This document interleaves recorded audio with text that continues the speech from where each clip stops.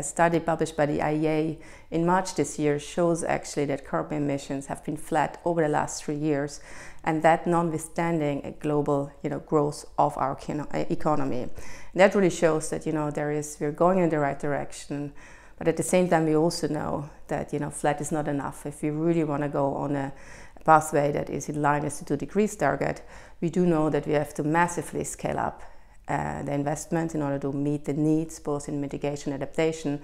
And we have to do that at the speed that is really very quick because otherwise we unfortunately will be missing you know, our goals and we will not be able to actually you know, meet the, the Paris Agreement goals that uh, all the countries have actually uh, subscribed to.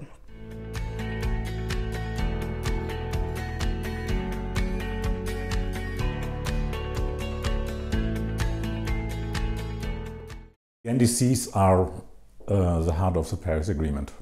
If we are not able to, to really seriously implement the first round of the NDCs, we will never uh, convince countries to come forward with the next round, more ambitious round, which, which would lead us on the right track. So therefore, we have to seriously work all together, and that is that is private sector, that is think tanks, that is development finance institutions, that is governments.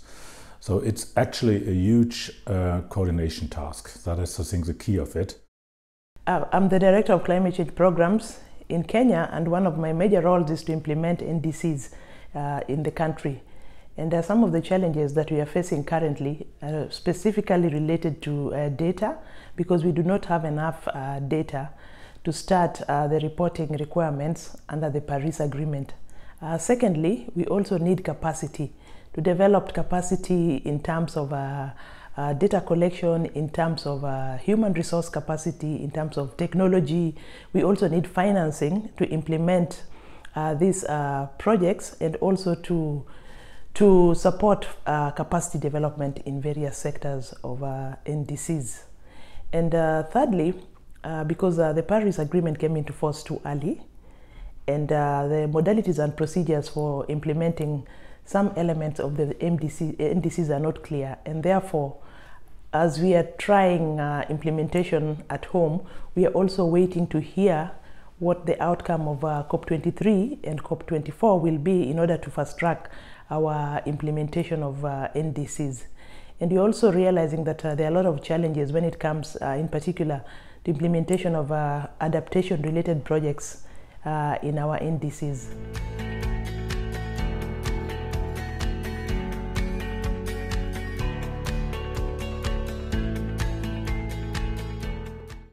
I think the most important theme that came out of today's set of discussions, it is time to actually start focusing seriously on adaptation and to take that with the same level of seriousness and rigor that we take the mitigation side of the equation.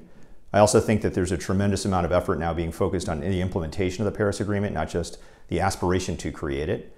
And moving into action is, I think, the most important part of this conference.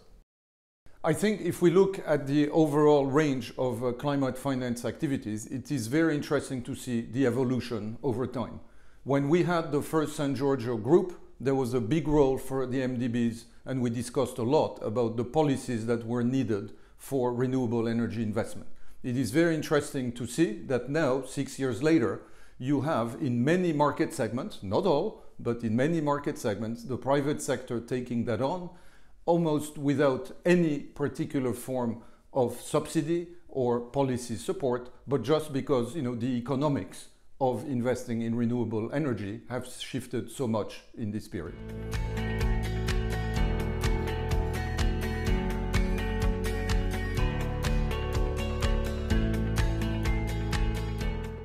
Germany has initiated together with, with Morocco a new partnership, the NDC partnership, where we bring together um, ministries uh, on, on, the, on the donor side, both development cooperation and and environment, climate, and also on the, on the developing country side, the finance and planning ministries on the one hand and the environment ministers on, on the other hand. Only if they all work together and if they really understand that the implementation of NDCs is a whole of a government approach and that, that we are really talking about huge investments into the whole economy, uh, we are able to, uh, to um, to be successful in the implementation. And we, in particular, need to work uh, uh, work out concrete investment plans and bring in then the private sector and the private finance, etc. So it's a huge undertaking. We're just at the very beginning of it. I think we're at a really interesting moment in time where the private sector can be very engaged in dealing with the climate change problem.